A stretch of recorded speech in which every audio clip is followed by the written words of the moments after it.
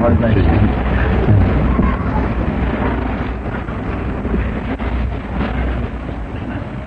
It's so good to be back in the house of the Lord tonight. Always glad to come to the house of the Lord. Um, about the time we get acquainted, then it's almost time to leave again. The convention breaks tomorrow night, I believe that's right. But I believe we can stay over until Sunday afternoon. That is, you who will have to leave have just made preparations for staying the convention time. Of course, you'll make arrangements to leave. And uh, I was trying just to speak in the convention and then put them other two nights, just push them in, other two meetings, get all the people prayed for.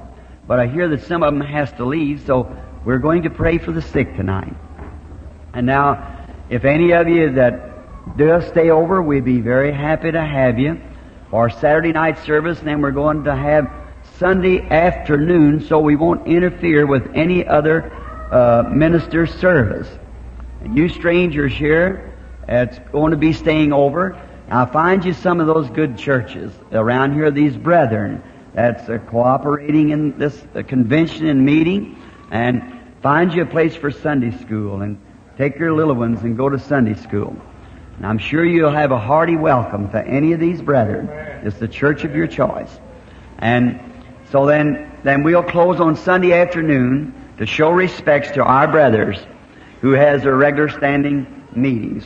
We're not here for money, or anything else, but to try to help our brethren push the load on. Just everything that we can. And then we're also wanting to help him to pray for the sick people. Do all that we can to help you. We're come here for that purpose. Now it's been a little chilly, and some of them has complained, where's my old friend Brother Kidd at tonight, huh? I invited him up here, Brother but Yeah. or something. All right. I'll tell you. Can you hear me, young fella? All right. It's good. Oh, the Lord blessed him and healed him when he doctors thought he was going to die. He's still staying with us. I want you up here tomorrow night to quote that song to me that you quoted when I come to visit you. See? You know that song? I told you I wanted you to say. Remember, I promised that to the Lord. So you must be up here tomorrow night, young fella. I want you to. I tell you, I'll never forget that visit. I left home about 2 o'clock in the morning, try to make my run real quick because I had to go away, to run up to see old brother Kidd, and I said, can he stay till Sunday? His dear wife said, according to the doctors, he won't be here then. Said, you, you better come right now, Brother Branham. Well, I got right in my car at 2 o'clock, and I was afraid I'd go to sleep because I was up till nearly midnight. And I got Billy to help me, and we come up to the home, and I looked sitting there, and this little old fella, I, I felt so sorry for him. That's little old cane in his hand like that, looked at me like old Jacob when he's getting ready to leave, you know, and calling the children up around his side. And in there, there was a woman, one of his church members. Brother Kidd's in 70, and I'm, don't know, she's in 80 something, or maybe 90. Just as bright. 92. 92 years old. Just a lot smarter than I am. Just as intelligent and bright as she could be. 92 years. And Brother Kidd sitting there looked at her and said, Grandma, and him 70 something, you know. Grandma, you look like a big snowdrop this morning. I said, that's right. Made pure and white in the blood of the Lamb. Looked at 70 and his wife about 70 something and I thought, what are you old folks waiting out here for this morning anyhow? I thought, just waiting for the boat to come along. That's all. Cross over the river. What a wonderful time. And he said, I can't sing you a song, but I want to quote you one. I said, Brother Kidd, I want you to quote that for me at the platform at the Chautauqua. I seen them all look around. Will he be at the Chautauqua? Well, going to be there. Here he is sitting here tonight. Been in a meeting every night. So we're so thankful for that. Thank the good Lord. So many things has been said and done till it take me hours. And I know you nearly freeze out there. I'm going to tell you, she's not here tonight, my wife. She said, Bill, you're freezing them people to bed. so they're wrapped up out there in blankets, some of them over their head, and there's some of them not even a sweater on. Some of the people come, didn't expect it. and said, "You just keep on preaching." I said, "I guess as long as they sit there, I'll keep on going." So, well, I believe I'd rather have a little cold than I would a little too hot. So we're thankful for what the Lord sends, whatever it is. Now, to pray for the sick, I'm going to try tonight to go back and call a few of the people and put the old ministry of the discernment, if the Lord will. I don't know that He will. If He doesn't, then we'll take right on through the line. Then tomorrow night, we're going to change the thing, see? And I'm going to try to pray for the sick in a different way tomorrow night, the Lord willing. Now tonight, let us turn in our Bibles now. You just keeping the text down just for a, a few moments because we've got a prayer line and we want to, uh, Billy told me on the road out that he give out, uh, a hundred cards, I think, this afternoon. we couldn't take them all through a discernment line, but we'll take a few of them. And then tomorrow night, start along on something else. I believe it'll be much better. Matthew 14. Let's begin at the 22nd verse. and straightway Jesus constrained his disciples to get into a ship and to go before him unto the other side, while he sent the multitude away. And we had set the multitude away. He went up into a mountain apart to pray. When the evening was come, he was there alone. But the ship was now in the midst of the sea, tossed with the waves, for the wind was contrary. And in the fourth watch of the night, Jesus went unto them walking on the sea. And when his disciples saw him walking on the sea, they were troubled, saying, It is a spirit. And they cried out for fear. But Jesus straight, but straightway Jesus spake unto them, saying, Be of a good cheer, it is I, be not afraid.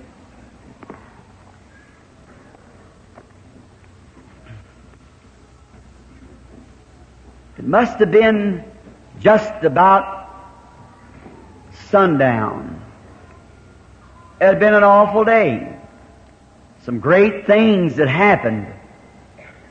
They had seen something happen that had never happened before in all the history of the world. And usually when Jesus is around, you see things happen. It's strange, odd.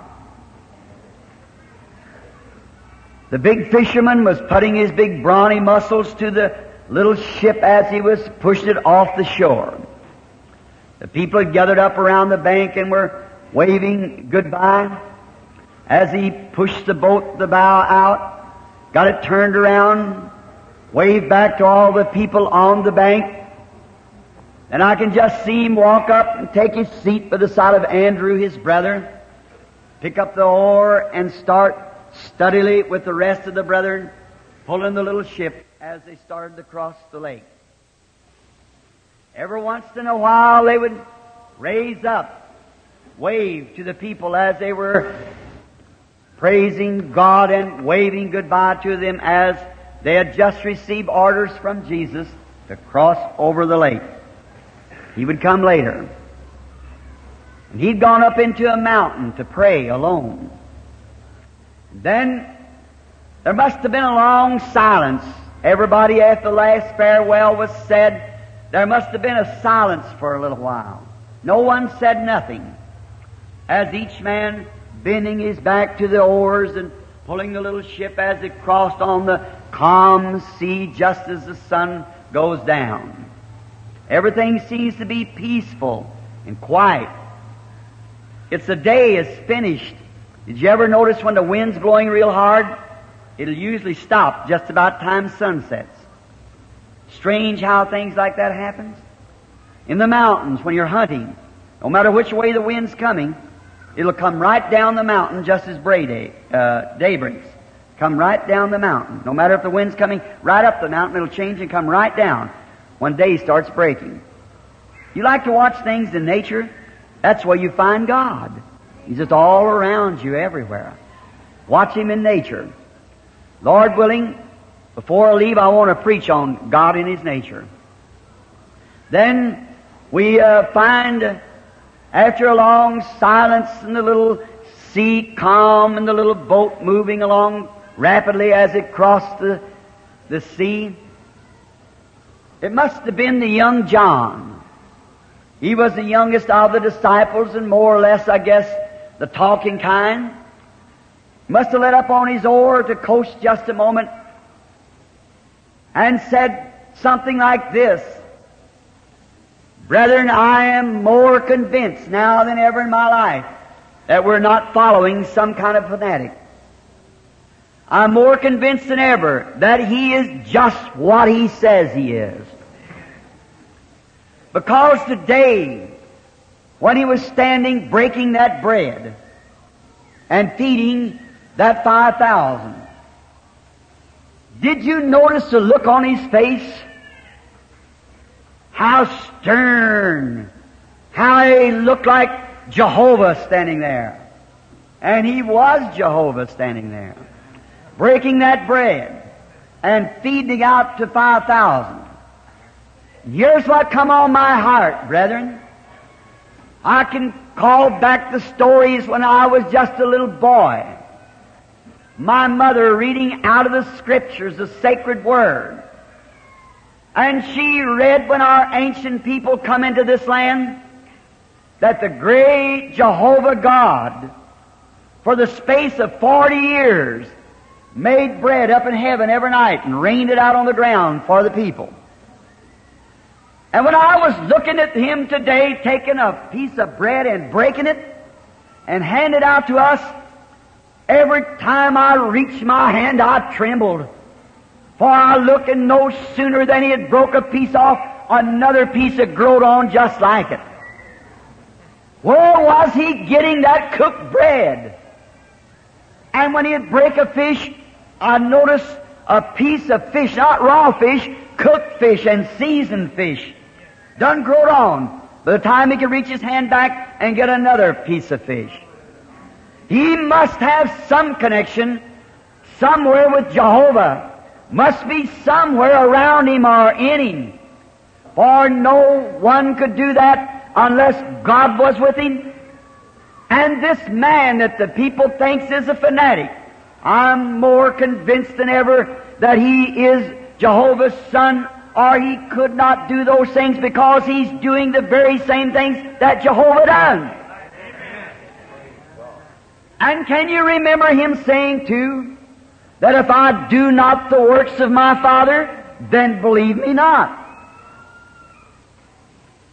That's how a man is vindicated.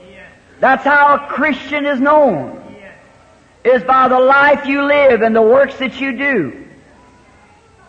Someone said to me, I believe it was last evening, said, Brother Branham, where does this come from? How are you able to go meeting after meeting, staying under the anointing, and even one sign made Jesus weak when the woman touched his garment? Said, I see you stand for hour under that. I said, I'd like to tell you, Here's where it lays. You don't want me to say this, but my brother sitting here, Gene Goad, that boy don't touch bread or water for days, fasting and praying. Here sits Pat Tyler, this other brother sitting here by him. Them men lay on their faces without food and water when I'm in a meeting praying for me. That's where it comes from. If there wasn't something like that, I'd go down. That's the man behind the curtain. The man who prays for strength for a message that they lay down everything. Maybe they haven't got the gifts to do those things, but they're putting every effort they can to support it. And the only way they can do it, they know, is prayer before God and fasting. There's where power lays. Let someone pray for you. I could hear John say when I looked upon his face, it seemed to be the very look of Jehovah. And I'm sure that he is connected with God or because he does the same kind of works. Tell me whenever bread was ever created outside of the hand of God. So it must be Jehovah. Then it must have been the big fisherman, Peter, who liked to talk anyhow. I just shook his head and said, You know, when Andrew here, my beloved brother, who's been a partner and fisher with me here on the sea for many years, when he attended that wild man's meeting, they call him John, dressed with a piece of sheepskin wrapped around him, and he'd come tell me that this prophet spoke of a coming Messiah that was to be at hand. One day he run in frantically and said, Simon, today it happened. What happened? I said to him. He's come. Jesus of Nazareth, the Messiah of God. Oh, now wait a minute. Andrew, what's this preacher got you all stirred up about? I was standing at the river when I seen a young man walking down to the bank in his thirties and walked out into the river and was baptized by John. And when he come up out of the water, I saw a light like a star coming down from the heavens. It looked to me like that same pillar of fire. But our people followed through the wilderness of this land. And when it come close to him, it tucked like wings like a dove and it settled up on him, and a voice came out of that pillar of fire saying, This is my beloved Son, in whom I'm pleased to dwell in. Oh, I'll never forget it, Andrew. And he put his arm around him, pulled him over to him. And then I went with him, and I thought, I'll see this most unusual man. He's, that must be an extraordinary character because I know that my brother here is not a fanatic by a long ways. He saw something in that man that was different, or he wouldn't be excited like that. So I remember on the days on the lake here was my old Pharisee father before he died. And all the brothers must have pulled their oars up to listen to what he was saying. I remember my old Pharisee father said to me when we were fishing together, he said, Son, Simon, I don't suppose I'll see the coming Messiah. I'm getting old, and my days are few. But I've raised you up to look for Him. Now let me teach you, son, so that you'll be sure you'll know who this Messiah is. Because there'll be many false ones rise. There'll be many great things happen just before this real Messiah comes. But there will be a real Messiah sign with him. And here's the sign that you'll know him, whether he's real or not. He'll be a prophet, a God prophet. He'll be more than a prophet, he'll be God. But he'll be a prophet too. For the scripture says, what we go by, Simon, that Moses said, The Lord our God will raise up from among us a prophet likened unto him. And he will be the gathering of the people now. And when you see the Messiah coming, the sign that he is the Messiah, he'll be a prophet. And you look for him for, for 400 years now. We've had no prophets since Malachi. I believe that the next sign of prophet that's showing will be the Messiah. And you watch it, son. And you know when I went with Andrew, that kept repeating over in my heart. What's this Messiah? And see if that is the one that Moses spoke of. He'll be a God prophet. And I'll know him by that. And he said, Brethren, when I walked up in the presence of Jesus of Nazareth, he looked into my face for the first time in his life and said, Your name is Simon. I knew that was the Messiah. Not only that, but he knowed that godly old father of mine. He said, You are the son of Jonas. That settled it for me, John. Before he ever broke the bread or anything, that settled it for me. I knowed he was the Messiah. Because he gave the sign of the Messiah. And it must have been about that time that perhaps Philip when he said, I followed him one day. I went to his house. I heard him speak. I heard what he said to Simon. I, I took off. You ought to have seen the face of my friend that I went to get. Nathaniel. I know Nathaniel was a good man. He was a religious man. Not a doubter, but he wanted to be sure. And I told him, come see who we have found, Jesus of Nazareth, the son of Joseph, the Messiah who we're looking for. And Brother Nathaniel said to me, could there be any good thing come out of Nazareth? He said, come see. Come find out. Come look it over for yourself. And along the road I told Brother Nathaniel, and he might have stopped over and said, Nathaniel, remember that? Very well, Brother Philip, I remembered. And I told him that this Messiah had give a sign of a Messiah. That he had told Simon who he was and what his name was and what his father's name was. And I told Nathaniel wouldn't surprise me, but what he told him who he was. He said, I'll wait and pass my own judgment. And when he come into the presence of the Lord Jesus, Jesus looked at him in the face and said, Behold an Israelite in whom there is no guile. Brethren, you should have seen the look on his face. All doubts had scattered. And he spoke out quickly and said, Rabbi, when did you ever know me? This is our first time meeting. He said, before Philip called you, when you were under the tree, I saw you. Nathaniel raised up and said, That settled it for me. I called out and said, Rabbi, thou art the Son of God. You are the King of Israel. For I knew that that, I learned it in the Scriptures. I knew that that Messiah would be a God prophet. And I seen that that was the man. I was fully persuaded. About that time, Andrew. It must have been him that said, Brethren, what about all of us? That day that when we were coming up from the uh, journey and drew nigh unto Samaria, and we was out of our regular course of where we were going, but he said he had need go by Samaria. And the strange thing was, what would him being a Jew want to go by to a mixed breed, a Samaritan, which are hated by our people? Despised. We have no fellowship with him at all. But yet, he wanted to go by Samaria.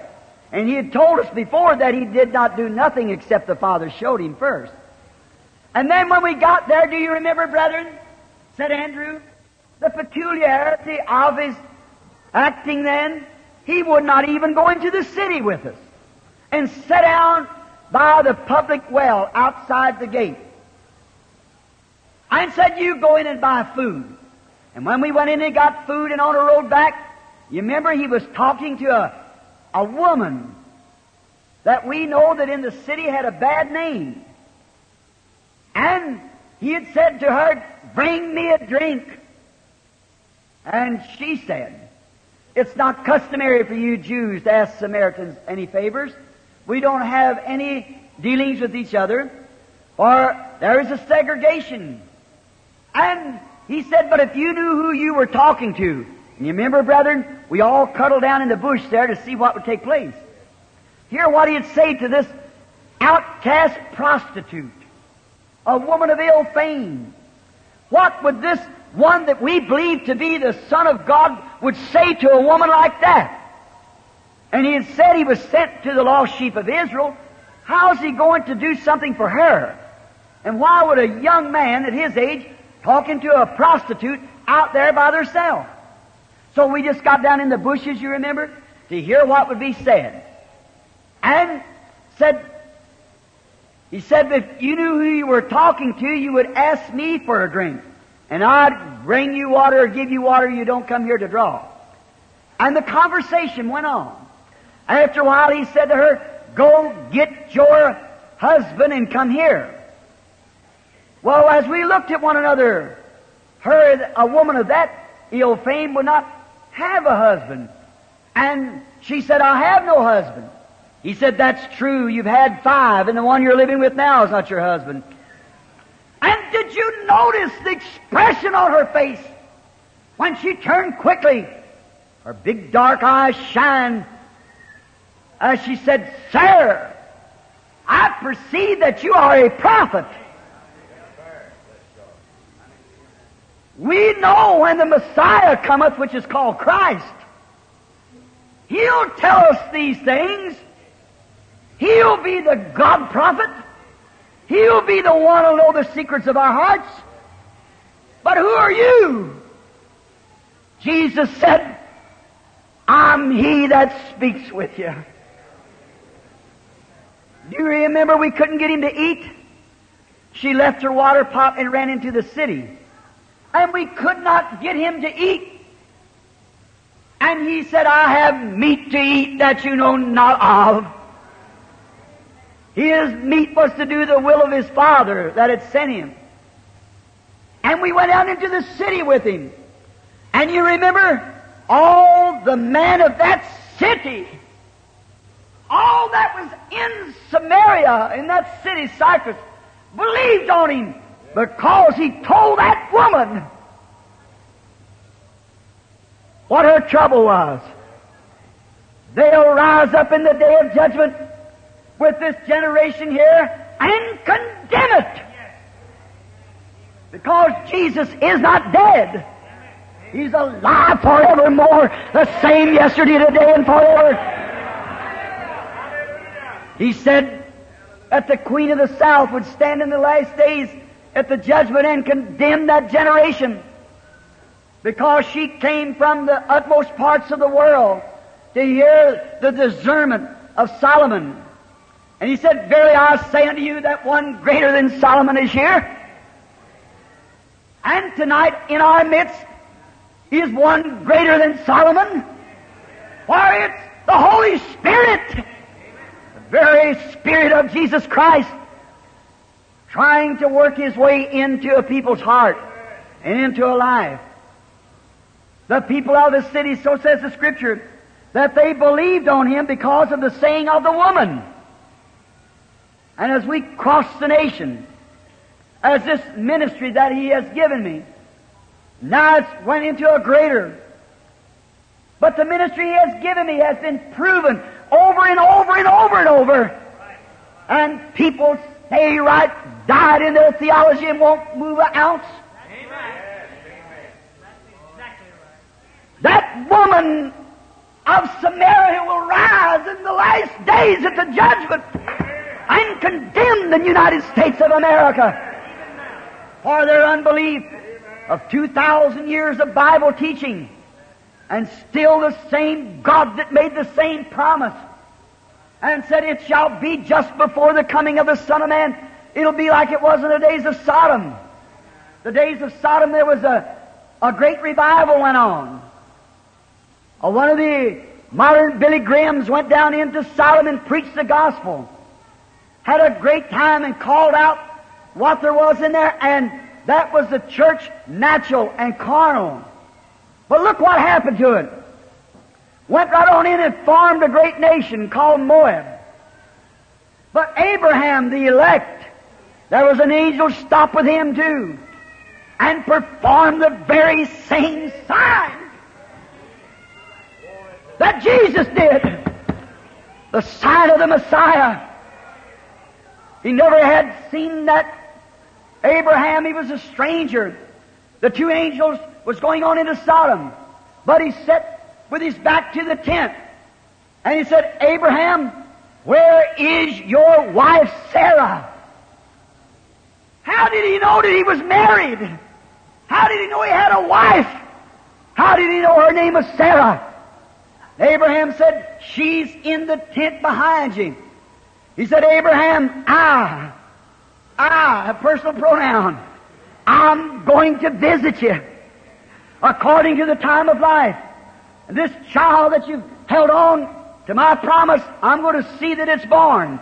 And Sarah, back behind him, back behind the flap of the tent, kind of sniggered, we'd call it, went in herself she laughed within her heart. And that angel said, Why did Sarah laugh? Hallelujah. Why did Sarah laugh in the tent behind me? What kind of a telepathy is that? What kind of a sign was that?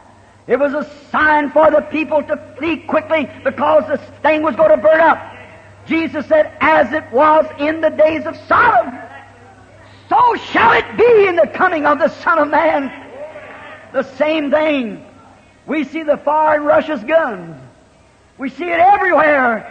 Get out of Sodom as quick as you can and run to the Lord Jesus. For the last hour and full of His mercy has been given. Tomorrow night I want to preach on something of that.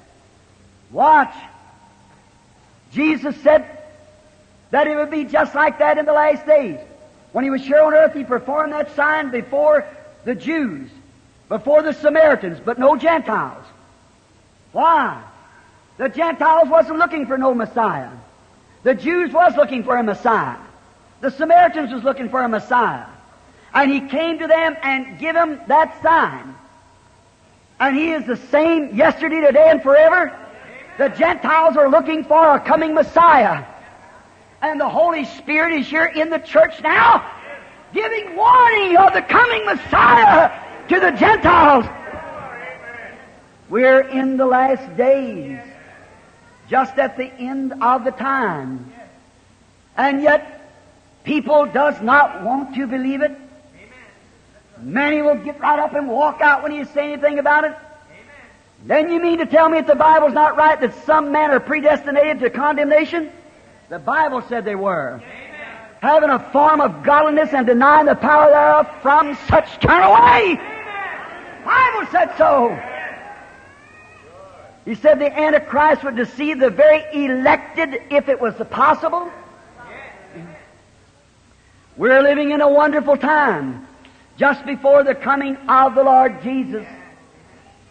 Oh, as Simon and them pulled on, the devil must have looked down and said, Oh, I see him now. They've gone off without him. Now's my chance. I'll cause a storm to sink them in the bottom of the sea. Now's my opportunity to get rid of all of them. That's just exactly what he says now. That's what I'm afraid is going to be the matter with our church. You're seeing it's a whole lot the same thing today. We've gone off on a tantrum. Uh, how many big fine buildings we can build. How many great big, how well we can make our denomination grow. And we went off without him. And the devil's coming in with his poison winds to start a revival amongst the people saying, don't you believe that's supernatural? There's no such a thing as divine healing. You better go to a psychiatrist and get your mind examined before you become a missionary or a minister. All that kind of nonsense. A poison revival that tries to say that the power of God that operates through the church is a bunch of fanaticism. You know the Bible said this? Jesus said when he was performing them signs there and showing, telling Nathaniel the things that taken place, those Jews standing there said, that man is Beelzebub. He's a fortune teller. We got his number now. He's reading their minds. He's using mental telepathy. Jesus turned to him and said, I'll forgive you. I, the Son of Man, will forgive you for this. But when the Holy Ghost is come for this age, said, one word against it will never be forgiven in this world nor in the world that is to come. And people don't see it. They got one little straight stretch that the church takes of some kind of theology and they stay right with that. Like I heard Brother David du Plessis say one time. He gets off his subject. He said, I don't stay on the highway all the time because all the preacher, preaching I do and all the people I preach to don't live on the highway. I have to go down the lane to get them. So maybe that's why we have to do it. Go down the lanes or the byways and compel them and force them to come in. If there's anything possible, make it so scorchy to them until they'll have to see it or put on their dark glasses and walk away. Refuse to see it. Make it plain. Prove it. The scriptures. That's how those brethren were discussing that. they know that he was Jehovah. And Abraham knew that was Jehovah. Now you say he was a man. I know he was a man. But when Abraham, he ought to know he talked to him. He called him Lord God. Lord God is Elohim. Lord God Elohim, the great all-sufficient one, the strong one, the almighty, the self-existing one. That's who it was standing there eating the meat of a calf, drinking the milk from a cow, eating butter and cornbread. Uh, God Himself proving that in the last days before the world's history would end, that God would manifest Himself again in human flesh. Hallelujah. He wants to come into your flesh. He wants to come into my flesh and manifest Himself. Send His Son to die. And He become a propitiation for our sins. And in that He could forgive our sins. That He could cleanse His tabernacle and He could live in us. Jesus said, The works that I do shall you do also. Even more than this shall you do. He is just one. Now His Spirit stretched out all around the world. Oh, God can be healing here, can be healing in Africa, healing in Asia, healing all over the world at the same time. Because the Holy Spirit covers the whole earth. God does that. Oh, isn't He wonderful? Then the devil looked down and said, I've got a chance now. They've gone off without Him. And if He can just get the Pentecostal church to start thinking more of their buildings and their well-dressed congregations than they do of an old-fashioned prayer meeting and tarry meetings and the baptism of the Holy Ghost and a godly life and clean up their women and clean up their man, make them live holy and either toe the mark or get out and not put so much on money and buy money and raising. The first thing you know, you're going to find going off without Christ again. Amen. Brother, sister, you remember this. Thus saith the Lord. See, the church better clean up. You're drifting too far out. Come back to the Lord. Come back to real prayer meetings. Little old Methodist preacher friend of mine I brought up here, laid in that room other night till three o'clock in the morning. My son went to see him. He's down on the river somewhere praying. He had to get to work. His wife had done got the Holy Ghost. Last night, he come through. He like to tore up the place, run out and got his brother and his sister-in-law, and they got the Holy Ghost. I'm telling you, the Methodists are going to get a shaking down in Kentucky in a few days. It's real. God's Holy Spirit. And it's for Methodists, for Baptists. Let me tell you, denominational people here of Methodist Presbyterian. When these people here call themselves Pentecost, that don't mean it's an organization. You can't organize Pentecost. You can have a denomination, but Pentecost is an experience for whosoever will let him come. Whether he's Baptist, Presbyterian, Methodist, black, yellow, brown, or white. Don't make any difference what color he is, how big he is, how little he is, how low he is, how bad she is. Doesn't make a bit of difference. It's for whosoever will. It's God's cleansing process for His church. You don't have to be smart. You don't have to be educated. There wasn't but one in his whole group ever had any education. That was Paul. And Paul said he had to forget everything he knew to find Christ.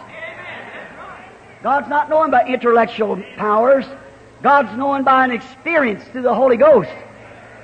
Peter was an ignorant and unlearned man. But he had to forget all he ever knowed Paul did in order to find Jesus. The devil looked down and said, I got him now. And he began to blow his breath. And when he did, the sea looked like the bottom would come out of it. I imagine his devil sitting on every way. He said, Oh, we got him now. We just got him in a sinking place. And when Pentecostal people begin to act, and their churches begin to act the way you're doing, getting a little group of an organization saying, we're against that group. Church of God against Assembly. Assemblies against Church of God. Oneness against two-ness. Two-ness against threeness. And all, all different nonsenses. See? Just the devil. I've got him separated. That's all. I've got him away from him. You did run well. What hindered you? What happened? Your women begin to cut their hair, use manicure all over their face, and, and wear all kinds. What'd your man do? Begin to carry on like everything, telling jokes, and some of them very unclean. You begin taking deacons that had two or three wives, all these kind of things. Why was it?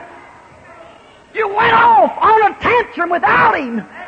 Exactly right.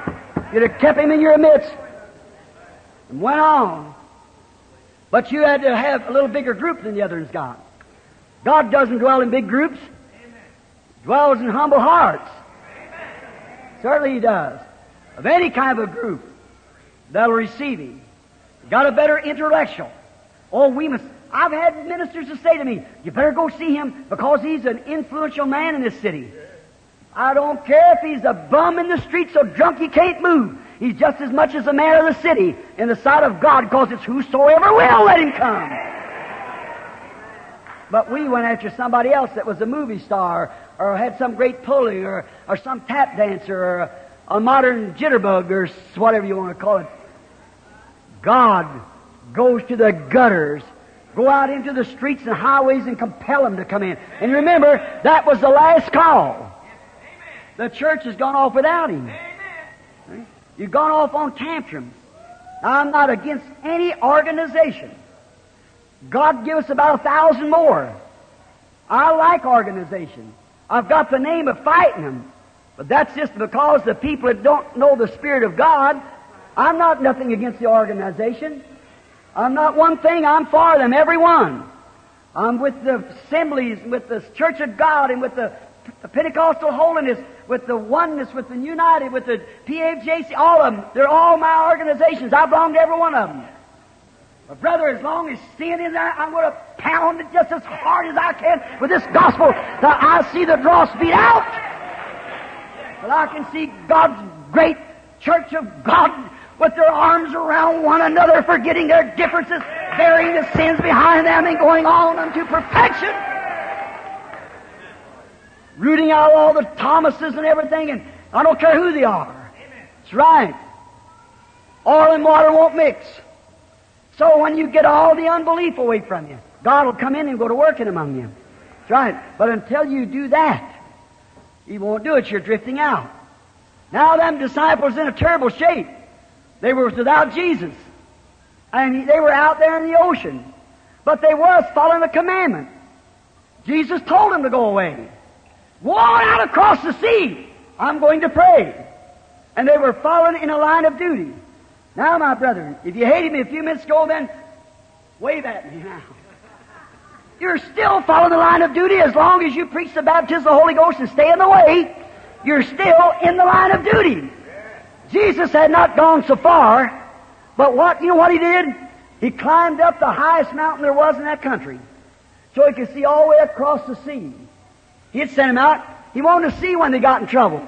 Be sure if anything happened, well, he'd be there to help them. He'd be, he'd be right on the spot to help them if anything happened. He went away up top of the mountain. He could see all the way across the ocean. All the way across that little sea there. And when he seen the wind was contrary, Satan is blowing his breath against him. And then what happened? Right in their most desperate hour, Jesus come walking to them. Now God, Jesus has done the same thing. He went so high that he could see all over the world. Where did he go? He climbed the ramparts of Calvary. He was crucified for your sins. The blood of his body dripped on the ground.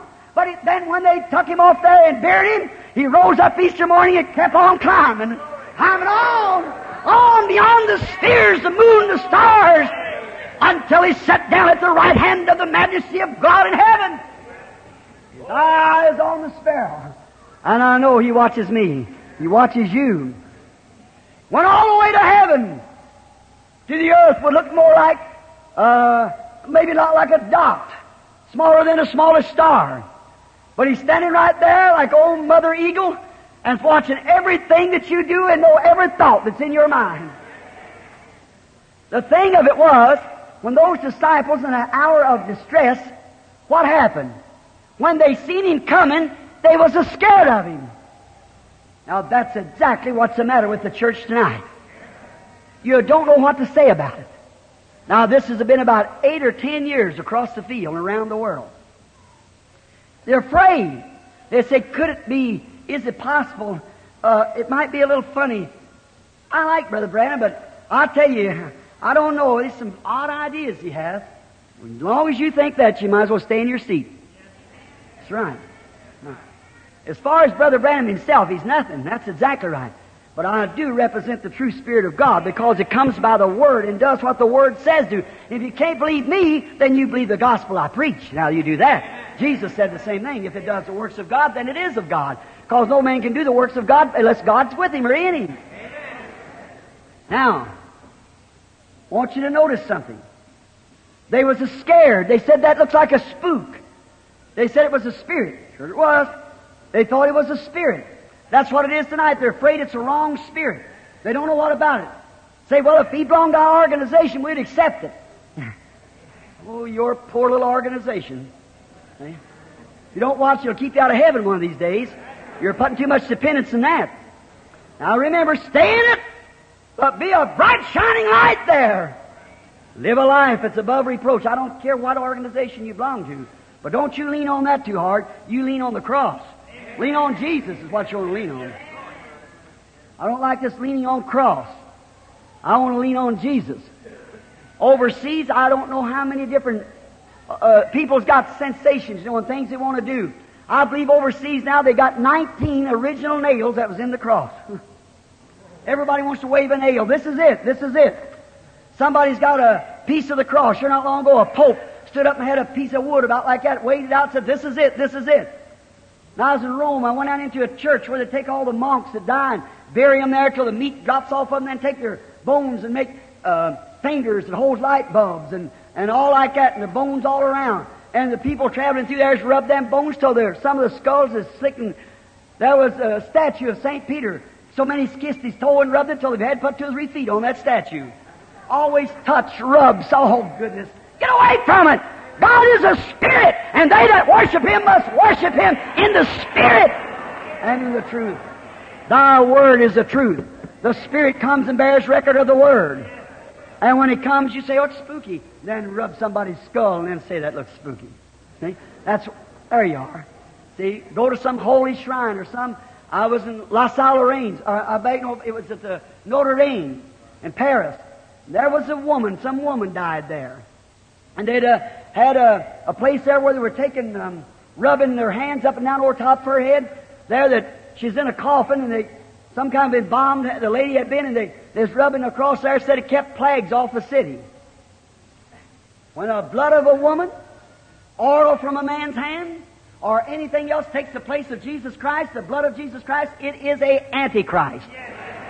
And you just remember that. It's antichrist. Jesus Christ is the only mediator between God and man. His blood was shed once for all. He took his own blood and entered into the sanctuary of God and sat down at the right hand of God. He's the only mediator. He's the only intercessor. He's the only blood. The only Spirit is the Holy Spirit. And I believe it with all that's in me. That's right. Anything substitutionary to that, to me, it's wrong. Any kind of a sensation is wrong. It's got to be the Spirit, and the Spirit in you makes you live the life and perform and do the works of God. If it isn't, if you put a pumpkin vine spirit in a grapevine, it would bear pumpkins. Absolutely. Because it's the fruit of the vine. Because life it's in it. You put a peach tree, peach tree and take the life out of a peach tree and put it in a sycamore tree, it would bear peaches. Yes, sir. Because it's peach tree life in it.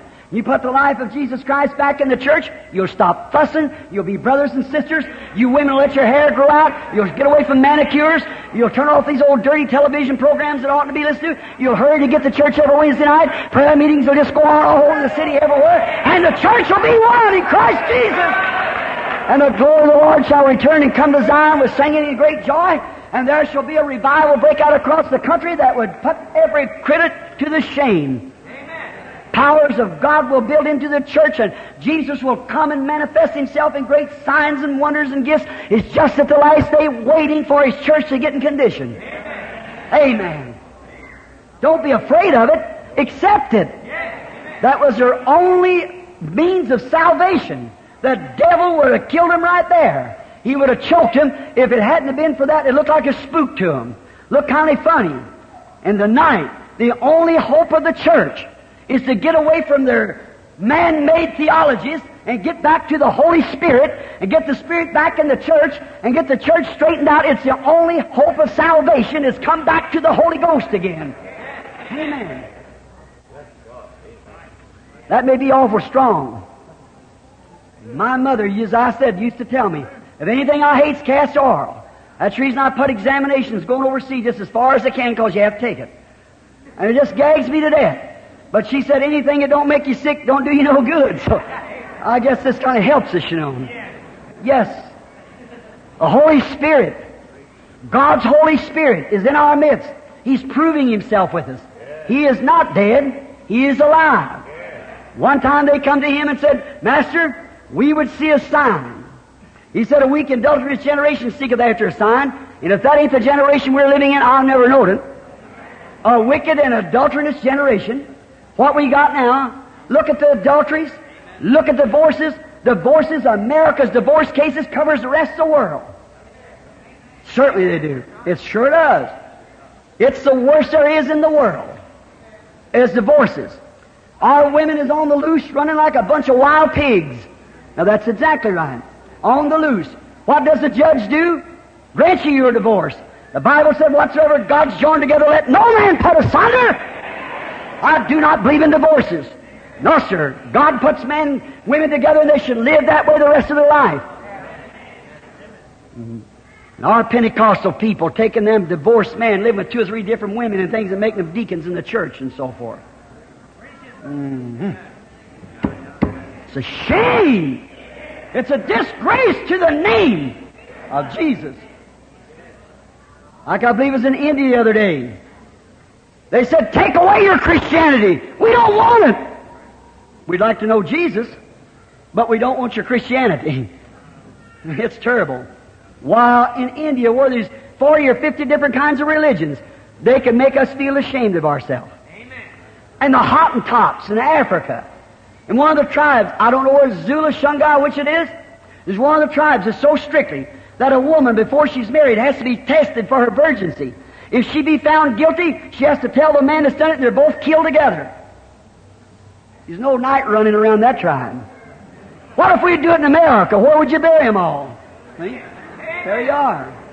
They can tell us morals how to live it, yet we're supposed to be the holy people with the Holy Ghost. Let such Tommy Rod as that run into our church. It's a sin and disgrace. God have mercy on us. Then the Holy Spirit come, move and show His signs, and just walk away as if, well, I guess it was all right. Oh, like you're half dead. Believe God. Wake up. Die all the way so He can resurrect again. Don't you believe that's the truth? This dark hour, great time that we're living. Yes, sir. I don't like to hurt you. God knows that. But what I'm trying to say, these preacher sitting here, hundreds of them perhaps, in the convention, there's church members here. What I want you to do is get back to your church and get to work.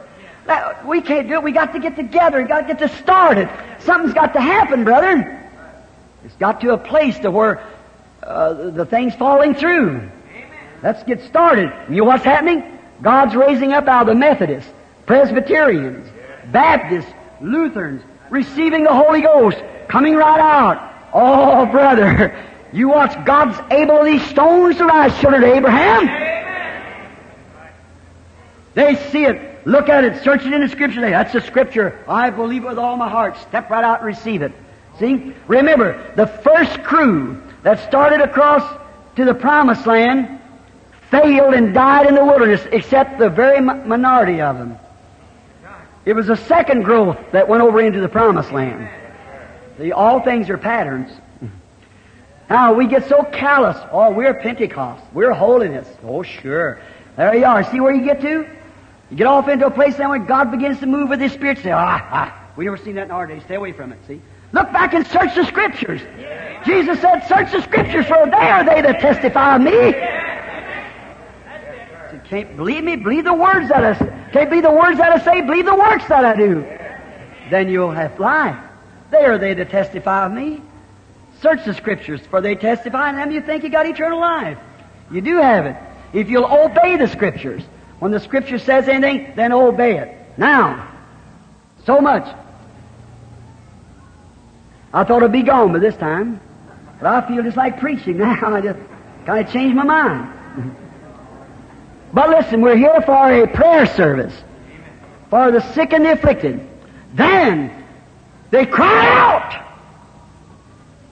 And they were scared. And Jesus spoke and said, Be not afraid. It is I. Don't be afraid. Now, how will we know tonight if it was Him? Because He will do the same work that He did. If He's the high priest, Hebrews 4.15 said that Jesus Christ is a high priest right now that can be touched by the feeling of our infirmities. See? He's making intercessions. Jesus promised in the last days these things would take place. You believed on receiving the Holy Ghost and received it. They believed on Jesus and received Him, was out there in the ocean ready to drown because He wasn't there. When He came up, they got scared of Him because He came up in a different form. Come up in a different way. But it was still Jesus. And if you want to know whether it's Him or not, go back and see if the Word says it's Him or not. Test it by the Word. The Word testifies of God, and the Word of God testifies for itself. Now, to finish our little drama, those brethren knew, John knew that that was Messiah. He knew it could only be God that could do that. Because why? He had seen in the Scripture that God was the one who made bread and broke it and, and fed two million people overnight. He knew that was God. Peter knew it was God because that he had heard of the Messiah was to be a God prophet. Nathaniel, the same way. The woman at Samaria had been taught. She knows. She said, I know when the Messiah cometh. We all know it here in Samaria. We know when the Messiah cometh, that's the things he'll do. But who are you? Jesus said, I'm he.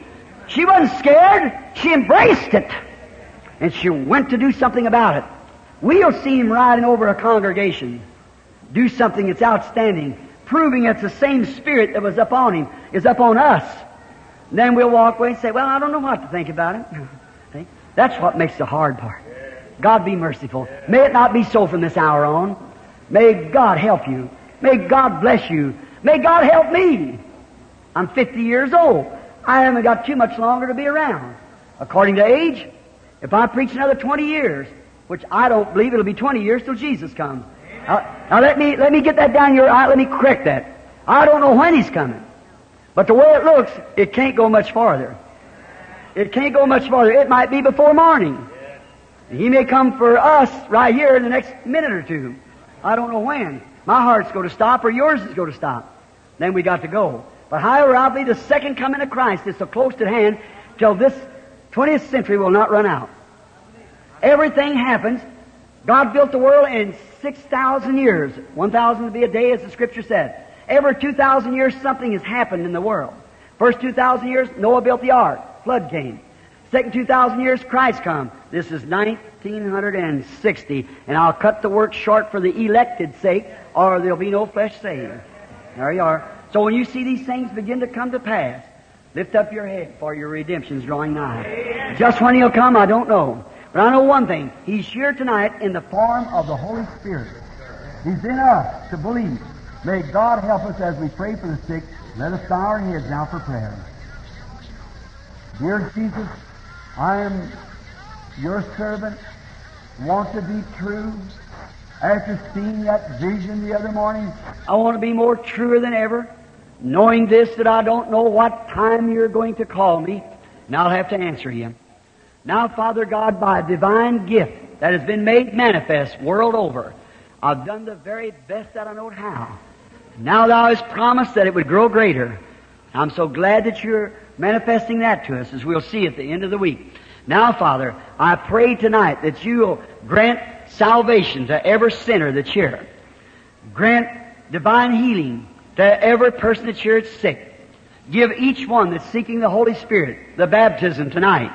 Bless every minister, every denomination, every organization, every church, everyone that breathes your name. Lord, may they receive blessings from God. Even if there be some critics here, we pray for them that they'll not be critics. They don't mean to be that way, Father. Forgive them for being critical. They don't mean to be that way. I pray that you'll fill them so with the Holy Ghost that they too will be partners with us in the ministry of this coming of the Lord Jesus. Grant it, Father. I, I humbly, not before the people. I'm not talking to them, Father, though I, they hear my voice, but I'm talking to you with sincerity in my heart. I pray for every person that would be critical, that you will forgive them and save them, Lord, and give them the works of God to follow their ministry. Grant it. Bless every organization. May there be a revival break out among every one of them, Lord. May their churches grow, their memberships grow, their spiritual power grow. Lord, we are wanting to see one thing, our God in peace. Help us, Father. But be, be anoint us, Lord, that we'll not be wishy-washy, we'll not be spineless, we'll not be a bunch of worms, but we'll be man. Man filled with the Holy Ghost like Peter, yet he's ignorant and unlearned. They had to take notice. He had been with Jesus. Said, who should we listen to? Your God.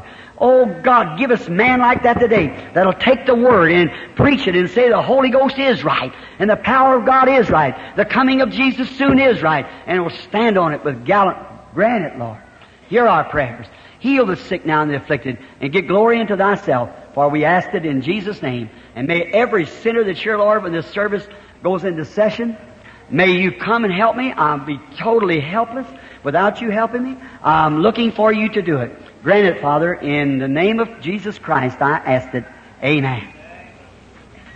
I'm going to ask you all to just remain seated, and where you're standing, be real reverent. I could stand here and preach till what few hairs I've got fall away. I could stand here till they turn gray, or I would sink in the pulpit and die. You can still stand there and say, well, I don't know about that. He preached it, but I'd like to see it work. That's exactly right. If it's God's promise, it will work. If it ever promised God made, it'll work. If you've got faith enough to make it work. Now, now, I, I regard you all as, as my friends and my brothers and sisters I expect to spend eternity with in glory. And if you disagree with me on my teaching, that's perfectly all right. But I believe if you'll search your Bible right good, you'll find out it's, it's on the mark. Because first, the angel of the Lord come to me and taught it to me. Then he showed me the Bible where to find it. I've got to find the first man that can down it. And that's been for years. It is, it's the truth. Yes, sir. Some great theologians as I've talked to, when it's finally come to show down and say, we know it's right, but our church would put us out if we accepted that. All right, if you think more of the church than you do of Christ, that's up to you, see. But for me, I stand on the Word. In the breach between all denominations saying we are brothers, we are sisters, let's come and serve the Lord Jesus. Amen. Amen. That's my, uh, that's my objective, that's my motive in doing it is clean before God. That's all my heart. Now, I believe Billy said he'd give a hundred prayer cards. Is that right, Billy? Was there any certain number or any certain A, A's? A's. Prayer cards, A. Now we're going to pray for every one of you. Might not be able to get them all tonight. We'll do the best we can. Get down the line just as far as we can. All right? We'll have to line them up now. And how about you getting down here? You and Gene or some of you or somebody can. Got somebody down there would help you? Go down there. Brother Sullivan, you take them from that end of the line. And somebody get down there. Uh, I'm going to see how many can line up first. And then I, all right, let's see. Let's have number one. Would you raise up your hand with prayer card number one? Number one. Do I see it? Which, are you sure you? What? Wait, I, I think you give me something wrong. Did you just, did you start? Oh, I'm sorry. All right, all right, lady. Over here, number one, come and bring him from over here. I always like him come to the right because he stands at my right side. See? All right, come over here this way. I hate to bring you around there, but it's not a superstition. I, every time he ever appears, he's on this side. I want you to meet him before you meet me. number one, number two, number two. How many knows that that's not a superstition? That's even scriptural. Absolutely. Where was the angel standing when Zachariah spoke to him, or he spoke to Zachariah? All right. Number one, number two. Who's number two? All right, number three. Quickly now, number three. Raise up your hand. Number three, number four. If you can't get up, tell the usher. We'll come get you. Number four. Prayer card number four. One, two, three. Is that number four? Number five? Who has prayer card number five? Come quickly. Prayer card number five? If you'd raise your hands, it'd help us so much. Prayer card number five. Has, has it stepped out? Did, it, did something happen? Is she gone or? Oh, I'm sorry. All right, go right. I'm sorry, sir. Number six. Number seven. That's it. That's the way. Number eight. Number nine. Number ten. Now we're coming. Eleven. Eleven. Twelve. Twelve. Thirteen. Fourteen. Fifteen. Sixteen. Seventeen. Jesus to heal you. Raise your hand. Right? Now, in the Bible, here's what happened.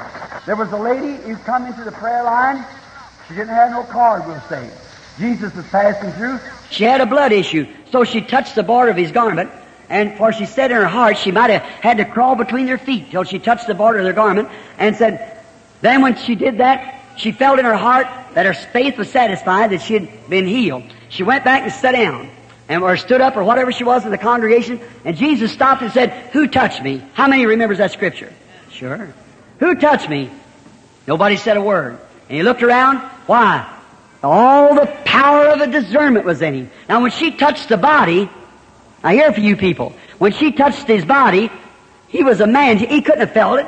He's had a garment on. The Palestinian garment has an underneath garment. It hangs the robe hung free, so she touched the border of his garment. I couldn't tell it physically if you touched the end of my coat. How about the Palestinian garment that hung way out? They had uh, underneath garment was down close on their feet here because walking along the road they picked up dust and they got real dusty and dirty. They had an underneath garment. So that robe, she could not have physically have felt it. But she didn't touch him, she touched God. When he, she expressed that she believed that that was the Son of God. She said, no doubt, I believe that man. I don't care what the priest says or anybody else. I believe that man. If I can touch him, I'll be made well. How many knows that's a scripture in the Bible? And it touched God in such a way till Jesus turned around and said, who touched me?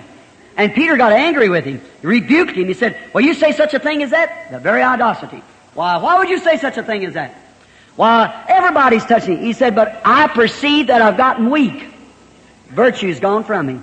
You looked right over a congregation about like this, till he found a little woman. He said, Thy faith has saved thee. Thy, the blood issue's gone.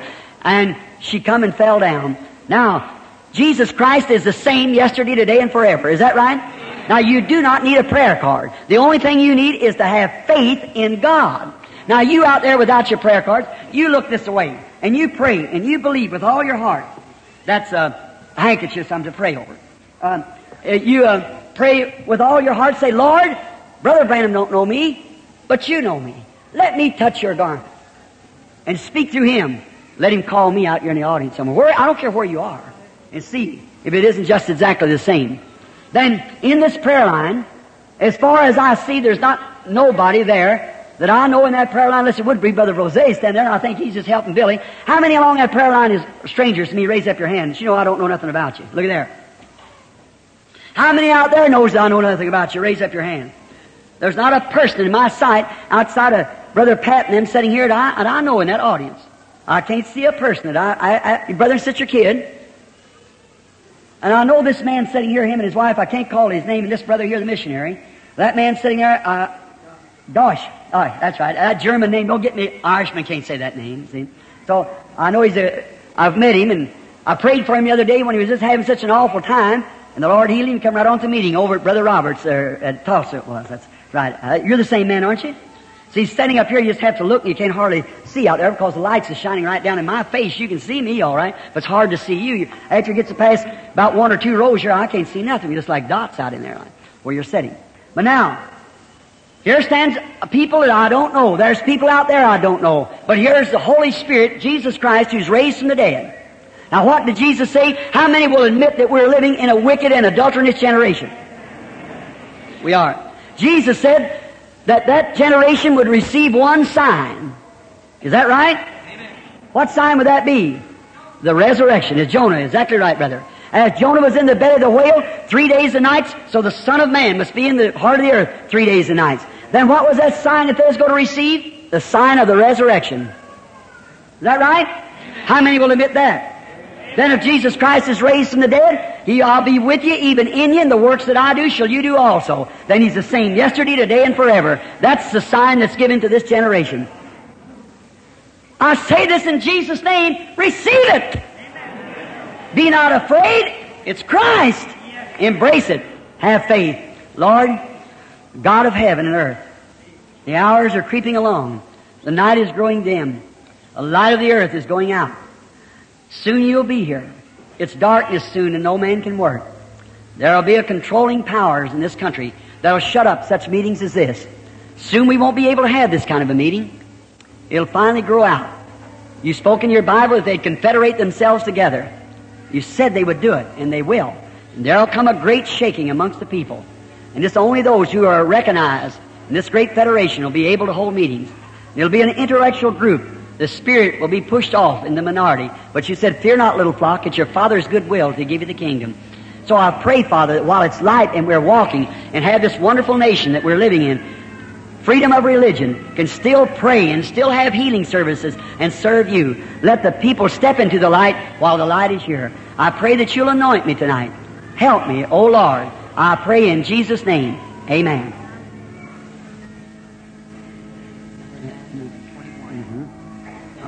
9 and 21.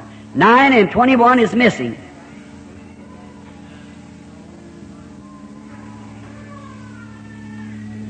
Nine and twenty-one. They're not in the line. All right, they come in. Okay, let's have to start because it's getting late. Now, how many sure that never was in one of these meetings before? Let's see your hands. Just look at there. Now, how many in here that never was here before, one of our meetings, that ever read St. John 4, the woman at the well when she met the Lord Jesus? Let's see your hands if you've never been here before. All right. Now, if he's the same Jesus, here's the same picture, a panoramic. The well is here, of everlasting life. I believe that. Here's a woman that I never seen, and perhaps she's never seen me. We, she raised her hand, she didn't know me, and I don't know her. Now, if he is the same Christ, he'll know her. If he's the same Christ, he knows me. And if he does the same thing here that he did in St. John 4, how many of you newcomers will receive him and believe it with all your heart? Raise up your hand. If the same thing. Now here's this lady and I, never seen one another in her life. We are, let's way, I might have looked out on the congregation, saw her. She might have looked up the pulpit and saw me, but we're strangers, aren't we, lady? We're total strangers. I don't know her. Never seen her. Now, if she's sick, I couldn't heal her. God's already did that, you see. I just, now Jesus is standing here with this suit on. That he had Brother Palmer out there somewhere and Sister Palmer to give it to me. Now if he was standing here wearing this suit and would say, and this woman would walk up and say, Lord Jesus, I need healing. You know what he'd say to her? I did that when I died for you at Calvary. See? But then, how would she know that was Jesus? Because he had nail prints in his hand? Not. Anybody could have nail prints in their hand. No, no, there've been many fake that. But the real Jesus would have a, the real spirit of Jesus would be in him, and he would do the same things that he did to prove that he was the Messiah. Is that right? And what was the sign of the Messiah? The God prophet. That's right. Now you understand? Not me now. So you can get it close. I am a man, a sinner saved by grace. The least among you. That's right. But it's His Spirit. Now I can just let myself, like these microphones. Them microphones are completely a mute unless somebody's speaking into them or some noise. There's got to be vibration of waves to go through it. The same thing here. I don't know her, she don't know me. If anything takes place, it'll have to be some other vibration of waves, won't it? Have to be the Holy Spirit. The only thing it could be. Now, sister, just to speak to you. Now, if the Lord Jesus, if I could go over here and lay hands on you after preaching the way I have and say, Jesus said, these signs shall follow them believe. Lay hands on the sick, they shall recover. That's the truth. You could go off the platform saying, praise the Lord. I believe I'm going to get well. That's right. You could do that. But now, what if he stands here and tells you what you have been? Then if he knows what you have been, and then tells you what you will be, you certainly, if that's true, you know whether that's true or not.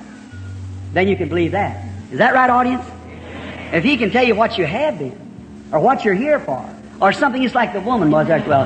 All understanding now?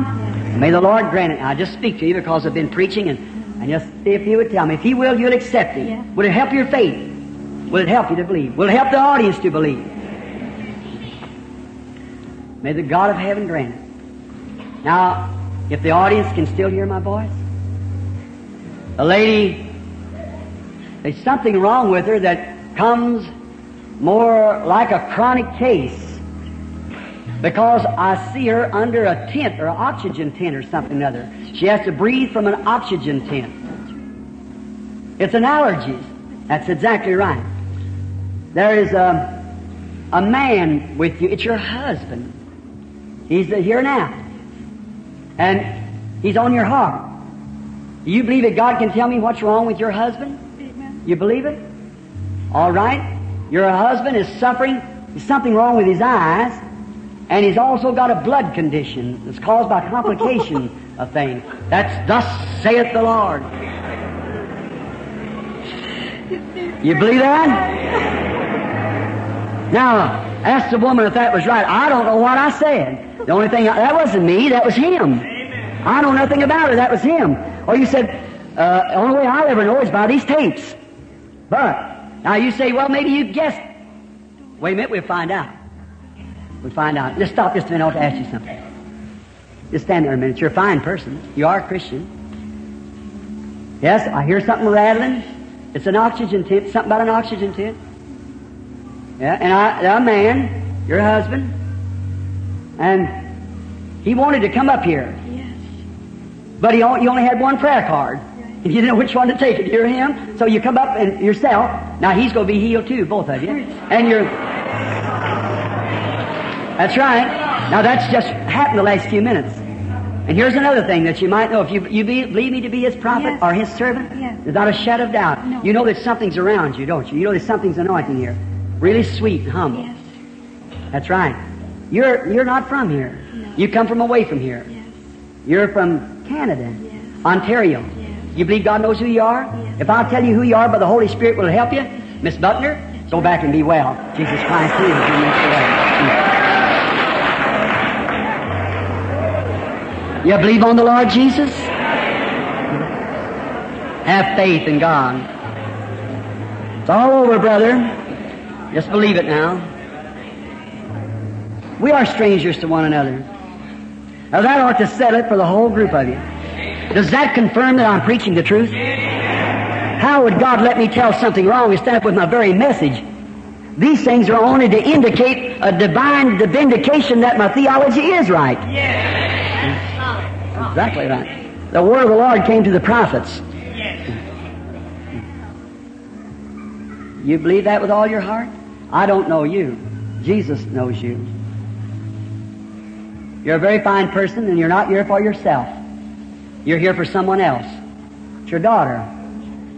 You believe God can tell me what her trouble is? It's in her spine. That's true. That's right, raise up your hand. Now you believe? With all your heart? I remember that almost kills me. You don't realize what that does to you. Just a moment. She's a lovely person. Let's speak to her again. Now, whatever it was, I do not know.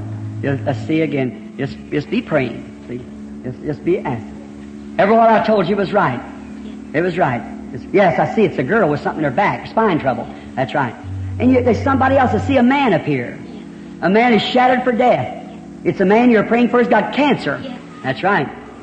You believe God knows who you are? Yes, I If I tell you, would it help you? All right, Miss Glasgow, go ahead home and be well. Jesus Christ make you well. Believe now, Lord. Have faith in God. You, you believe with all your heart? Have faith in God. You believe? We're strangers to one another. If I didn't say nothing to you, just pass through and laid hands on, you know that something here, uh, ever who it is was taking pictures, uh, please don't anymore. See, the Holy Spirit's a light. I'm watching it right here, and I see that flash now, and I, I, I can't get it, you see. I can't catch the Spirit. It moves from me. All right? Now, that's, um, I lost it just then. Uh, Just a minute. Now, is this the patient? You're the patient? All right. If God will reveal to me what your trouble is, will you believe me to be His servant? Varicose veins. You believe He can heal them? Yes. You got something else you're very much worried about. That's right. If I'll tell you what it is through the Holy Spirit, will you believe it's Christ standing here doing that? You will?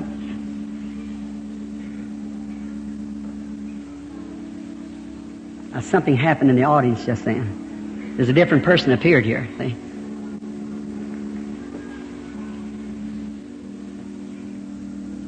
Somebody believed right, a whole lot just then.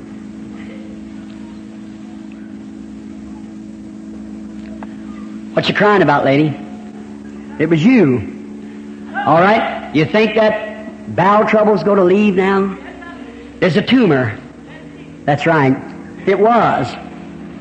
I don't know you. You believe with all your heart? God bless you. There's a lady sitting right next to you is believing with all her heart too. Uh-huh. I don't know you, lady, but you, you, you know God and you believe Him. If I can tell you what your trouble is, will you believe me? You're suffering with a heart trouble.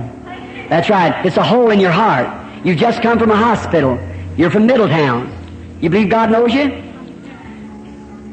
And read. Believe with all your heart now and go home and be well. Have faith in God. You believe God? What did she touch? See how that faith pulls out right off the audience here. It's your faith that does it. I've never seen those people. Now you have faith out there. I want to ask you something. What did she touch? She can't touch me. She's she's 30 feet from me or 40. But what did she touch? She was believing with all her heart and praying, and she touched the high priest. I'm not the high priest, he is. But he, ain't got no lips but mine and yours. He only has hands as he can use mine and yours. You just believe somewhere like that the same thing. Let's see, was this a patient? Has he already told you what your trouble was? You believe if he hasn't? All right? Yes. Varicose veins, and you got a lump in your breast. That's right. You believe with all your heart? Now go home and be well. Jesus Christ make you well. You believe with all your heart, everybody? Have faith now. Don't doubt. How do you do? We're strangers to each other so far as I know. Is that right? All right.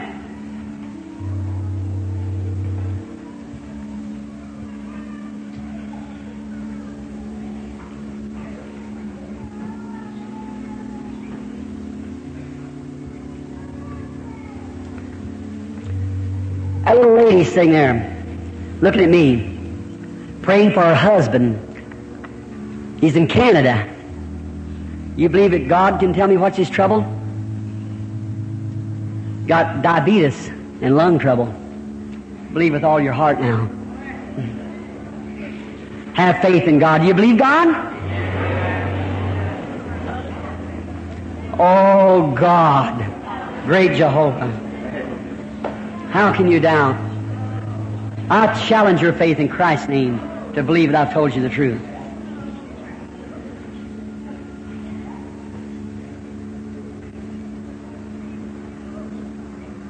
You believe God can tell me your trouble?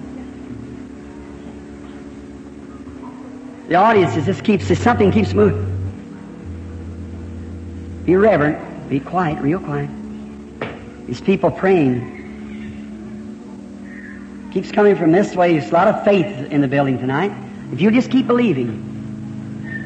Let's see, this is a patient. I'm not beside myself. I'm just, you you don't need trying to explain it. You can't. See, there's no way of trying to explain it. You just have to believe it. You can't explain God. You know God by faith. Oh, it's some kind of spells you're having. Epilepsy. I want to tell you something happened. When you was a little girl, you got a fall and caused that. When you was a little girl. Been bothering you a long time. You believe God will heal you? You're not from here. You're from the South, Mississippi, Hattiesburg, Mississippi. You believe God? I tell you who He was, would it help you? Miss Sledge, I go home be well. Jesus Christ, make you well. If thou canst believe, all things are possible. Just have faith in God. Now, we're strangers to one another, sir. God knows us both. Now, if the Lord Jesus still remains Jesus Christ, the same yesterday, today, and forever, He'll know you, know all about you. I don't. He does. Will all you believe that out there now? I don't know the man.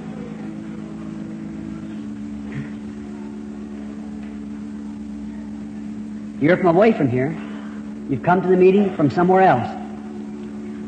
Virginia, have faith. You're wanting deliverance from something. That's right, isn't it? Smoking. Smoking cigarettes. Say, A minister should get away from that. You're wanting deliverance. You know it's wrong. Mr. Snodgrass? Reverend Mr. Snodgrass from Virginia. That's your name? Come here. You believe me to be God's prophet? Yes, I sir. Hand me your hand. I cast that evil thing away from you as a child of God. May it leave you and never come back again. Go on your road believing now and never take another one the rest of your life. Amen. Have faith in God. You believe your back got well while you were sitting there? Your back got well while you were sitting there? You believe it? And go just rejoicing, saying, Thank you, Lord. This little lady just held up her hand right there, just at that time. You got something on your mind, haven't you, lady? You're praying for your son. That's where it's coming from. Have faith. If you believe with all your heart, God will give you the desire of your heart. What do you believe that? What if I didn't say one thing to you? Would you believe it? Would you believe it's healed? You are. God bless you. Just go on your road. What if I didn't say nothing? You just laid hands on you. That's the main thing with you, isn't it? Come here. In the name of Jesus Christ, be healed. Amen. That's how simple. A lady sitting right behind here. Little black-headed one with a white-looking coat on, looking around to the lady sitting next to her with arthritis there. Believe with all your heart, God will make you well. You believe it with all your heart, and you can have it. That's right. Let You raise up your hand there. There, that's it. Stand up on your feet. That's it. Stand up. This, there you are. Go on home, be healed. Jesus Christ makes you well. You too, sister, believe with all your heart. Go and may the Lord Jesus make you well. All right, come. Very small for that. You believe that anemia condition will leave and it'll be well? God can give you a transfusion from Calvary for. You believe that? Go and you can receive it in the name of Jesus Christ. Believe now with all your heart. Heart trouble, stomach, oh my. You believe God will make it well? Go and believe with all your heart and get well.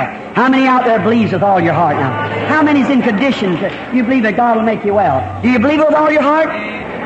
Are you ready to receive your healing? How many believes it's the Holy Spirit? I want to see your hands. How many believes it's the Holy Spirit? With all your heart? With all that's in you? Now I'm going to challenge your faith right now to do something. What do you think? What do you think? Do you all believe it's the Holy Spirit? How many knows that that's exactly the same sermon I preached tonight of Jesus Christ? How many believes it inside and out? Raise up your hands. All that will accept Jesus as their healer right now, I don't care what's wrong with you, how crippled you are, nothing about it. If you'll accept Jesus as your healer, stand up to your feet and raise up your hands and praise Him for healing you. You can have your healing right now. Lord God, Heavenly Father, in the name of Jesus Christ, I cast away this evil spirit, cast away the powers of the devil, and may they go home and be well in the name of the Lord Jesus Christ.